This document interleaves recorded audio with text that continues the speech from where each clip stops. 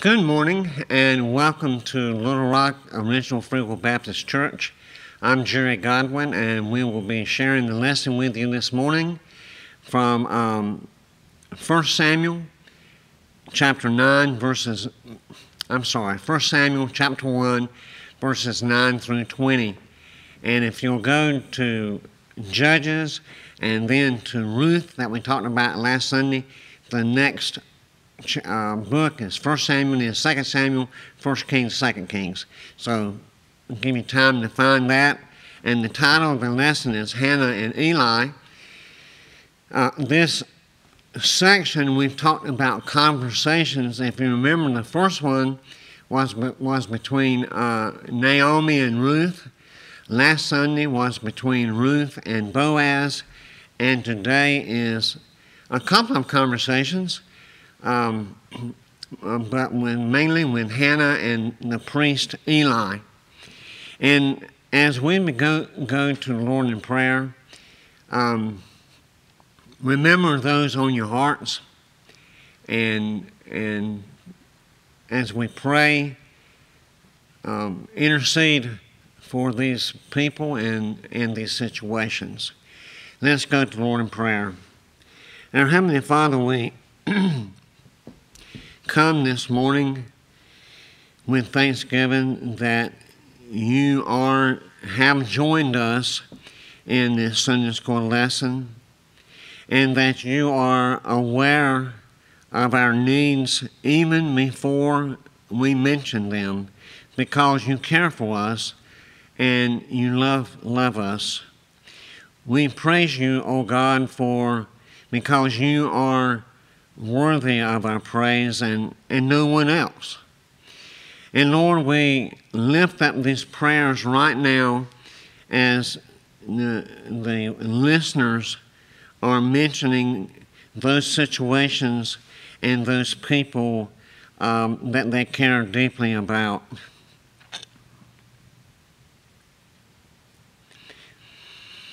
Hear these prayers, O Lord, and and minister to these situations. Help us to be aware of your presence in all the situations of life. We thank you, Lord, that the COVID situation seems to be getting, getting better, um, but still there are those that, that we know that have COVID. And so we still continue to pray. Help us to be faithful to you and our faith, Lord, in you through these trying times. Lord, I thank you for this privilege uh, and the opportunity to teach once again. May your name and, and your name only be glorified in Jesus Christ. Amen.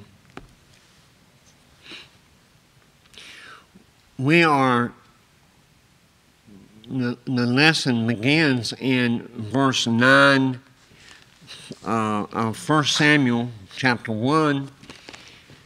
But in so many situations, I want to go back to actually to verse 5 of chapter 1. And this is where um, Elkanah, the man's name is Elkanah, and he had a wife named, named Hannah um, who was not able to have children or had not had a child uh, at this time. But he also had a, another wife whose name was Penina, and um, she was quite fertile, and she would um, was having children. But every year they would go to Shiloh and offer sacrifices.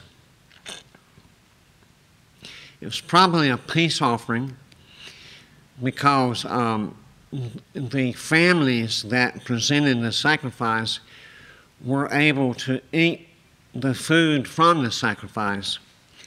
And every year, they would go, Hannah and Elkanah and Penina, and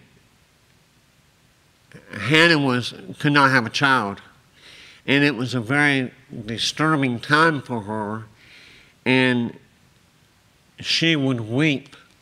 Now we've talked about this before.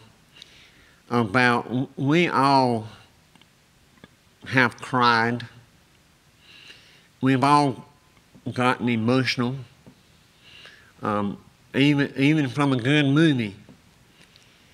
But usually, when we weep, it's because of people we love or situations that are very disturbing to us.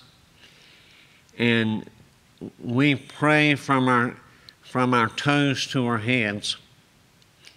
And as babies weep get the stempers, we have cried and, and had the stempers. And I, and and uh, and and and I think Hannah was in that situation because she wanted a child so much.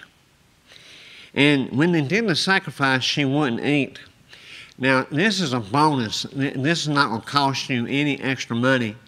But I, I just wanted to share this because you have to think about it from a man's point of view. And for you women out there, don't try to think like a man.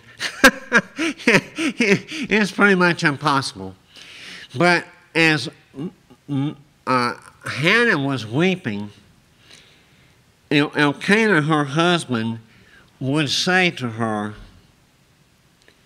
Hannah, why are you weeping? why don't you eat? Why are you so downhearted. Do, listen to this. Don't I mean more to you than ten sons?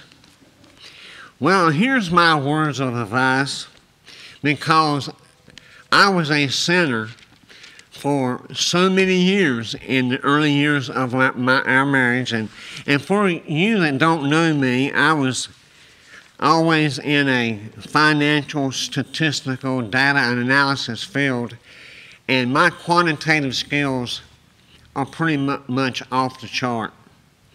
But this is the mistake that I made for many years, and I want to save you, if you haven't started, to save you from making the same mistake.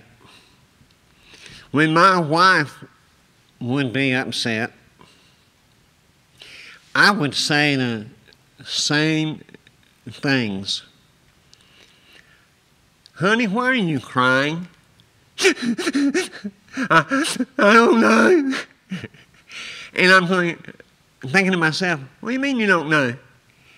Um, and and um, you're at dinner and like, why don't you eat? I'm not hungry. and and you you and, and you say, well, well, let me help you fix the situation. This is it. Ding, ding, ding. Listen. They do not want you to fix the situation. From my background and skills, I wanted to fix it and then everything would be okay. They do not want you to fix the situation. They want you to listen. Listen to their problems. They have an issue. Look at them and listen and hug them and tell you tell them you love them. Don't tell tell them, aren't I worth more than ten sons? Am I not the best? Oh, look around you. Am I not the best husband that all these women have? Yes, no, they do not want your uh, suggestion. Okay, that's free. That's the end of the lesson. But um, it was so funny to me. I find humor in the Bible because I can see myself. Well, why did Hannah want a baby so much? Well, first of all, it was considered a disgrace if a woman did not give her husband a son. Now we go to um, not so long ago when Henry VIII, King Henry VIII was around, and he had six wives, and he wanted an heir to his throne, and wives one through six, none of them could give him a son. He annulled two marriages, and he beheaded um, two wives. Um, I don't think this fixed the problem. And strangely enough, it could have been Henry VIII's problem was the reason that he couldn't father a child. And this is the same here is that the Bible does not makes no possibility or awareness of of male infertility. It could have been Elkanah, although um, Penina had several sons. And like I said, this went on for years. And also, they assumed that God is the one that made them infertile. And also, the Bible tells about these infertilities. If you remember Sarai and um, Rachel for Jacob's wife, because the outcome is going to be even greater, and we're going to see that in this story. Now, it says that they had eaten and drunk at Shiloh. Hannah rose and presented herself before the Lord. Now, Eli, the priest, was sitting on this seat beside the doorpost of the temple of the Lord. And remember, this was Shiloh, and the Ark of the Covenant was there. And I got just got to say, because I gotta, gotta, gotta, is that my name is Eli. My name is Jerry Eli, and I'm proud of my name. But Eli don't turn out to be such a, a, a smart person in this story, uh, and I can relate to that. And she was deeply distressed and prayed to the Lord and wept bitterly, and we talked about that. And then she made this vow. Now, let me tell you, folks, uh, here's another thing. Do not make a vow to God unless you're planning on keeping it. There was a story one time of a man that was on an airplane and he was sitting next, next to a preacher, and there was a tremendous electrical storm, and the plane was being tossed about, and people were getting sick. And the, the man said, he was a very, businessman, was a very wealthy man. And he told the preacher, he said, I vow if I get down uh, out of this safely, I will give God half of what I own. And so they went a while longer and finally they landed safely at the airport. And the preacher said, Sir, I want to remind you of your vow. He said, Well, preacher, actually, I had a second vow that I told God that if he ever caught me on an airplane again, I would give him 100%. so he, he reneged on his vow. And but here's a vow that um, Hannah is making. She said, O Lord of hosts, Yahweh, if only you will look on the misery of your servant. God, look on me. I am miserable. My life is miserable. And remember me. Don't just look at me, but take my wishes to the throne. And do not forget your servant, but give to your servant a male child. Now, many of you out there have had difficulties having babies when you wanted them. Others of you were quite successful early on. But my wife and I went through some several years of not having a child, and, and I can tell you how dis- disturbing it is. And one of the most painful days of the year is Mother's Day in a church when you can't have a baby. I remember my wife holding a child. She loves babies, and I love babies. And she would hold someone's child, and in a church, someone will invariably come up and say, Oh, that looks so natural. Why don't you and Jerry have one? Or, isn't it about time for you to have one? You've been married for four or five years. Don't, don't say those things. I'm giving you a lot of information here of things that we shouldn't do. Don't say to a, someone and you don't know their situation. And the Boolean logic here is God, if you will do this for me, then I will set him before you as a Nazarite until the day of his death. Now, a Nazarite could have, you, you could be a Nazarite for a relatively short period of time, but here Hannah is crying terribly, weeping, and saying, God, if you will do this, and I remember me, and I will have a son, I will dedicate him to you as a Nazarite. And that meant that he would never have a haircut, that he would not drink any intoxicating beverages, um, including the fruit or the seed of grapes, and that he would not touch um, a dead person, and that he would commit his life to them. Now, you may or may not know it, but a couple of Nazarites um, in the Bible were Samson. Remember, he didn't cut his hair, but remember that Delilah had his hair cut. And he had broken his promise. And then there was John the Baptist. That was a Nazarite. And remember, in the New Testament, we talked about how, how he looked. And then we have um, Samuel. Now, Elkanah loved Hannah. She was his first wife.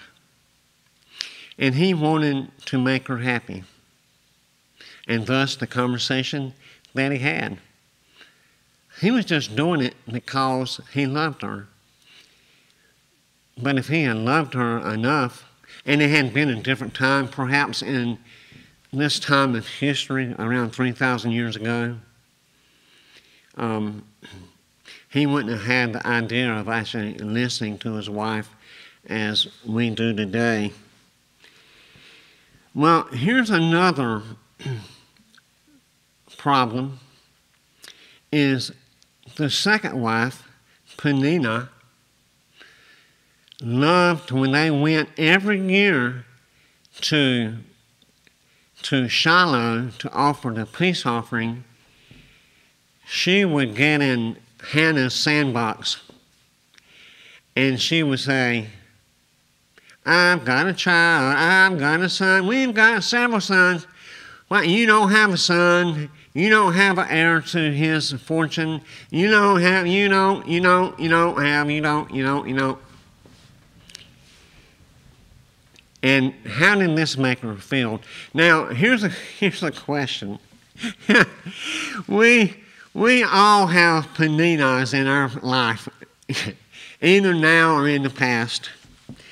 And I have to admit, in my, no, not in my past life, but sometimes I like to aggravate.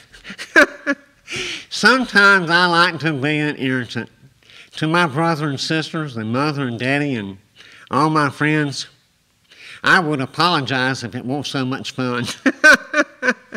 but I, when I do that, normally I don't do it when someone is hurting. I, I don't do that. Um, I only do it on a daily basis to get attention and to have a little fun. But here, here Penina was evil spirited and wanted, wanting to bring um, sadness and distress to her, um, to Hannah. Now, Hannah goes to the sanctuary to pray, and Eli is there, and he's watching her as he prayed.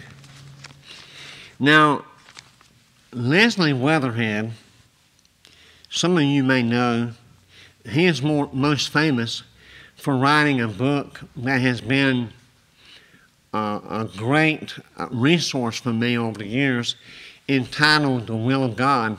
And the Will of God is basically the five sermons that he wrote um, during the terrible days of World War II. And it tells about the different wills of God.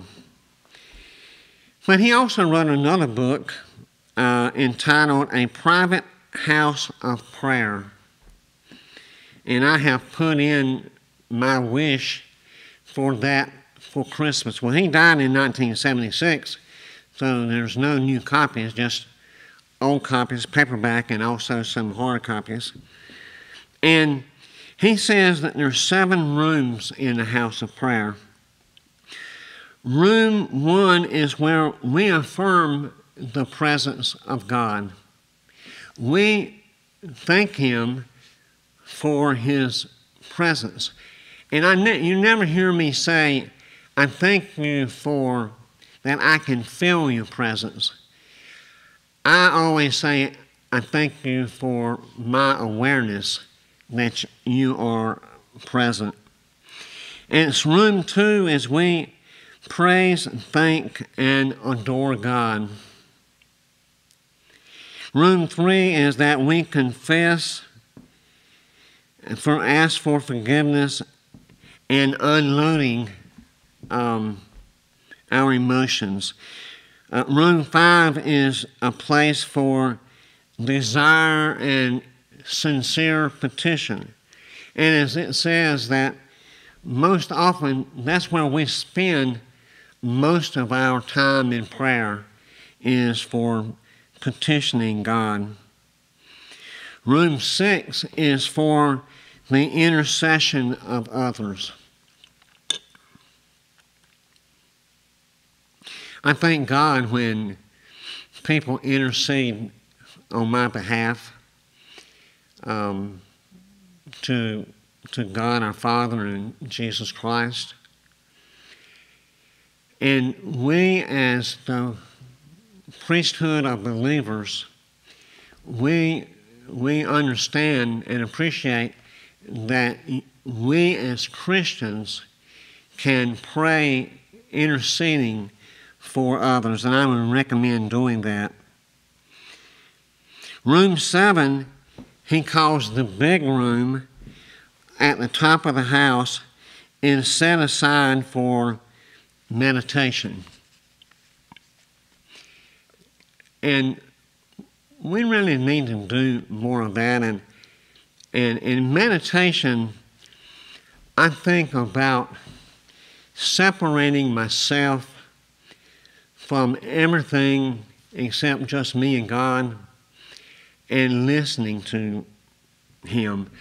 And one time, myself and two other men from this church went with the pastor um, to, um, I can't think of the place right now, um, down near the Neuse River. And it was training. And one of the things that they told us to do was to go to a place. And I sat on a rock and to be away from everybody else, just between you and God. and talk to God and listen to God. Listen, listen to God. That's where we fail. That's where I fail so many times. As a matter of fact, Diane, you might be listening to this, my wife. That's where I fell in other times. Just like Elkanah did. I talk a lot more than I listen. I said it, I talk more than I listen because I'm an extrovert. I think out loud, and I can't hear. But I'm going to be working on that soon.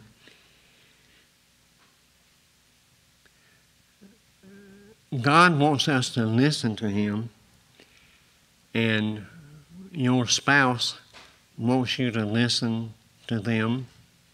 Your children want you to listen to them. And listen to this. Listen to me. listen to this. Not only verbal language, but nonverbal language.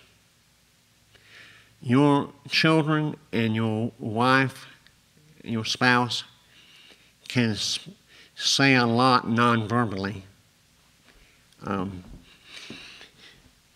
someone said it, that um, at Colin Powell's funeral, that in a meeting they could hear his eyes roll.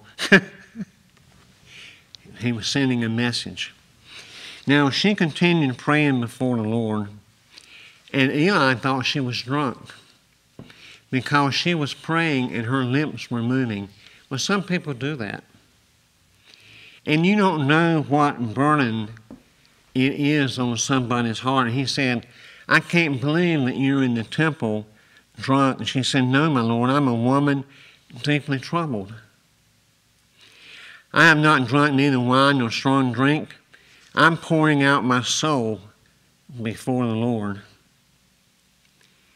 Do not regard your child as a worthless woman for I'm speaking out of my great anxiety and vexation. And Eli had to be embarrassed. He said, Go in peace. The Lord grant the petition that you have made to him. And she left, and she was sad no more. And she and Elkanah went home, and she knew he knew his wife, which means he had a relationship to her. And they conceived a son, the great prophet Samuel, and she dedicated him as a Nazarite. Um, let me share this song with you related to Hannah, related to me, and I'm sure related to you. He touched me. Shackled by a heavy burden, neath the load of guilt and shame. Then the hand of Jesus touched me, and now I am no longer the same. He touched me, oh, he touched me, and all the joy that floods my soul. Something happened, and now I know He touched me and made me whole.